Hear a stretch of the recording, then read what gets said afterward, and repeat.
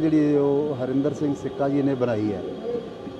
ਸੋ ਸਿੱਕਾ ਜੀ ਨੇ ਬੇਸ਼ੱਕ ਇੱਕ ਇਮਾਨਦਾਰੀ ਨਾਲ ਆਪਦੇ ਵੱਲੋਂ ਕੰਮ ਕੀਤਾ ਹੋਵੇ। ਸਾਨੂੰ ਇਸ ਬਾਰੇ ਕੋਈ ਇਹੋ ਜਿਹਾ ਨਹੀਂ ਹੈਗਾ ਵੀ ਅਸੀਂ ਉਹਨੂੰ ਕੋਈ ਇਦਾਂ ਦਾ ਸਮਝਦੇ ਹਾਂ ਵੀ ਉਹਨੇ ਬੇਸ਼ੱਕ ਉਹਨੇ ਇਮਾਨਦਾਰੀ ਨਾਲ ਹੀ ਕੀਤਾ ਹੋਵੇ, ਪਰ ਉਹਨਾਂ ਨੇ ਸਿੱਖ ਇਤਿਹਾਸ, ਸਿੱਖ ਰਹੁ ਰੀਤ ਸਿੱਖ ਮਰਜ਼ਾਦਾ, ਸਿੱਖ ਸਿਸਟਮ ਇਹਦਾ ਬਿਲਕੁਲ ਖਿਆਲ ਨਹੀਂ ਰੱਖਿਆ।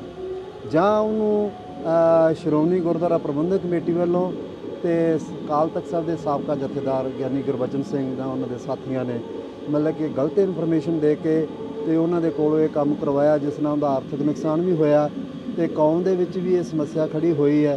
ਅੱਜ ਸਾਰੀ ਕੌਮ ਜਿਹੜੀ ਹੈ ਜਿੱਥੇ ਜਿੱਥੇ ਵਸ ਰਹੀ ਹੈ, ਉਹ ਇਹਦਾ ਵਿਰੋਧ ਕਰ ਰਹੀ ਹੈ। ਇੱਕ ਗੱਲ ਮੈਂ ਆਪ ਜੀ ਭਾਈ ਆਪਸੀ ਭਾਈਚਾਰੇ ਰਾਹੀਂ ਦੱਸਣਾ ਚਾਹਣਾ ਇਹ ਦੇਸ਼ ਜਿਹੜਾ ਹੈ ਇਹ ਦੇਸ਼ ਵਿੱਚ ਬਹੁਤ ਸਾਰੀਆਂ ਕੌਮਾਂ ਵਸਦੀਆਂ ਨੇ।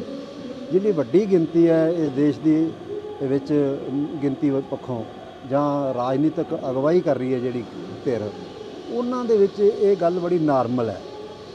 ਕਿਸੇ ਬੰਦੇ ਵੱਲੋਂ ਕਿਸੇ ਭਗਵਾਨ ਦਾ, ਜਿਵੇਂ ਰਾਮਚੰਦਰ ਜੀ, ਸ੍ਰੀ ਕ੍ਰਿਸ਼ਨ ਭਗਵਾਨ ਜਾਂ ਦੇਵੀ ਦੇਵਤੇ ਜਾਂ ਹੋਰ ਕਿਸੇ ਮਹਾਂਪੁਰਖ ਦਾ ਰੋਲ ਅਦਾ ਕਰਨਾ, ਇਹ ਸਧਾਰਨ ਗੱਲ ਹੈ।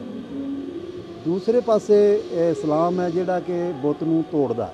ਇੱਕ ਬੁੱਤ ਪੂਜਦਾ, ਇੱਕ ਬੁੱਤ ਤੋੜਦਾ। ਸਿੱਖ ਧਰਮ ਐਸਾ ਇਹਨਾਂ ਦੋਨਾਂ ਦੇ ਵਿਚਾਲੇ ਖੜਾ ਹੈ। ਨਾ ਬੁੱਤ ਪੂਜਦਾ, ਨਾ ਬੁੱਤ ਤੋੜਦਾ।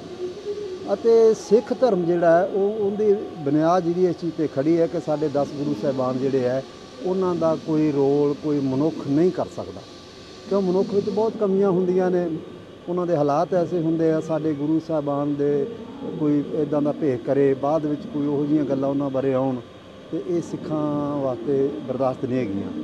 ਸੋ ਅਸੀਂ ਇਹਦੇ ਵਿੱਚ ਸ਼੍ਰੋਮਣੀ ਕਮੇਟੀ ਦੀ ਔਰ ਗਿਆਨੀ ਗੁਰਬਚਨ ਸਿੰਘ ਦੇ ਰੋਲ ਦੀ ਤੇ ਜਾਂ ਅ, ਬਾਦਲ ਕਿਆਂ ਵੱਲੋਂ ਜੋ ਪਿੱਛੇ ਰੋਲ ਨਿਭਾਏਗਾ ਉਹਦੀ ਸਖਤ ਨਿਖੇਧੀ ਕਰਦੇ ਆ ਤੇ ਨਿੰਦਿਆ ਕਰਦੇ ਆ ਕਿ ਉਹਨਾਂ ਨੇ ਇਹੋ ਜਿਹੀ ਮਨਜ਼ੂਰੀ ਕਿਉਂ ਦਿੱਤੀ ਹੈ? ਕਿੰਨਾ ਹਾਲਾਤਾਂ ਦਿੱਤੀ ਹੈ? ਜਾਂ ਉਹ ਕਿਸੇ ਲਾਲਚ ਵਾਸਤੇ ਦਿੱਤੀ ਹੈ? ਕੋਈ ਕਿਸ ਤਰ੍ਹਾਂ ਹੋਇਆ ਇਹ ਤਾਂ ਉਹਨਾਂ ਦੀ ਆਤਮਾ ਜਾਣਦੀ ਹੈ ਪਰ ਬਹੁਤ ਮਾੜੀ ਬਿਰਤ ਪਾਈ ਹੈ ਸਿੱਕੇ ਦਾ ਵੀ ਨੁਕਸਾਨ ਹੋਇਆ ਕੌਮ ਵਿੱਚ ਵੀ ਸਮੱਸਿਆ ਖੜੀ ਕੀਤੀ ਹੈ। ਇਸ ਲਈ ਜਿਹੜਾ ਦੋਸ਼ ਹੈ ਉਹ ਗਿਆਨੀ ਗੁਰਬਚਨ ਸਿੰਘ ਤੇ ਸ਼੍ਰੋਮਣੀ ਗੁਰਦੁਆਰਾ ਪ੍ਰਬੰਧਕ ਕਮੇਟੀ ਤੇ ਬਾਦਲ ਕੇ ਦੋਸਤ ਤੋਂ ਬਚ ਨਹੀਂ ਸਕਦੇ। ਉਹਨਾਂ ਨੇ ਇਹੋ ਜਿਹੀਆਂ ਗਲਤੀਆਂ ਅੱਗੇ ਵੀ ਬਹੁਤ ਕੀਤੀਆਂ, ਕਿਤੇ ਸਰਸੇ ਵਾਲੇ ਮਾਮਲੇ 'ਚ ਕਦੇ ਹੋਰ। ਇੱਕ ਗੱਲ ਹੋਰ ਵੀ ਹੈ ਕਿ ਠੀਕ ਅੱਜ ਤੋਂ 40 ਸਾਲ ਪਹਿਲਾਂ 13 ਅਪ੍ਰੈਲ ਵਾਲੇ ਦਿਨ ਇੱਥੇ ਅੰਮ੍ਰਿਤਸਰ ਚ ਵਿੱਚ ਗੁਰੂ ਗ੍ਰੰਥ ਸਾਹਿਬ ਦੇ ਸਤਿਕਾਰ ਲਈ, ਸ਼ਬਦ ਗੁਰੂ ਲਈ ਗੁਰੂ ਮਹਾਰਾਜ ਦੀ ਸਿੱਖੀ ਦਾ ਸਿਧਾਂਤ ਹੋਣ ਦੇ ਵਾਸਤੇ 13 ਸਿੰਘ ਸ਼ਹੀਦੀਆਂ ਦੇ ਗਏ ਸਨ। ਠੀਕ 13 ਅਪ੍ਰੈਲ ਨੂੰ ਪੂਰੇ 40 ਸਾਲਾਂ ਬਾਅਦ ਜਦ ਕੌਮ 40 ਸਾਲਾ ਮਨਾ ਰਹੀ ਹੈ, ਤੇ ਇਹੋ ਜੀ ਇੱਕ ਮਤਲਬ ਕਿ ਆਪ ਅ, ਅਕਾਲ ਤਖਤ ਵੱਲੋਂ ਸ਼੍ਰੋਮਣੀ ਕਮੇਟੀ ਨੂੰ ਮਾਨਤਾ ਦੇ ਕੇ ਗੁਰੂਆਂ ਦਾ ਰੂਪ ਬਣਾਉਣ ਦੀ ਆਗਿਆ ਦੇਣੀ ਇਹ ਇੱਕ ਬਹੁਤ ਹੀ ਜ਼ਿਆਦੀ ਮੰਦਭਾਗੀ ਹੈ। ਬਹੁਤ ਦੁਖਦਾਈ ਹੈ ਔਰ ਅਸੀਂ ਇਹ ਹਿੰਦੁਸਤਾਨ ਦੇ ਪ੍ਰਸ਼ਾਸਨ ਨੂੰ ਵੀ ਕਹਾਂਗੇ ਕਿ ਇਹ ਨਾ ਸਮਝੋ ਕਿ ਬਹੁਤ ਗਿਣਤੀ ਇਦਾਂ ਕਰ ਲੈਂਦੀ ਉਹਨਾਂ ਵਾਸਤੇ ਨਾਰਮਲ ਹੋਏਗੀ ਪਰ ਸਾਡੇ ਵਾਸਤੇ ਨਾਰਮਲ ਨਹੀਂ ਹੈਗੀ। ਇਸ ਵਾਸਤੇ ਉਹਨਾਂ ਨੂੰ ਸਾਰੇ ਧਰਮਾਂ ਦੀਆਂ ਮਾਨ ਮਰਜ਼ਾਦਾ ਦਾ ਪ੍ਰਤਿਸ਼ਠਾ ਦਾ ਸਤਿਕਾਰ ਰੱਖਣਾ ਚਾਹੀਦਾ। ਸੁਪਰੀਮ ਕੋਰਟ ਹਾਈ ਕੋਰਟ ਜਾਂ ਹੋਰਨਾਂ ਨੂੰ ਵੀ ਇਹ ਸਮਝਣਾ ਚਾਹੀਦਾ ਕਿ ਕਿਸੇ ਦਾ ਆਰਥਿਕ ਨੁਕਸਾਨ ਜਿਹੜਾ ਕਿਸੇ ਕੌਮ ਦੀ ਬਣਾ ਤੇ, ਉਹਦੀ ਮਾਨ ਮਰਜ਼ਾਦਾ ਤੇ ਬਣਾ ਤੇ ਇਹ ਇਸ ਦੀ ਭਰਪਾਈ ਨਹੀਂ ਕੀਤੀ ਜਾ ਸਕਦੀ।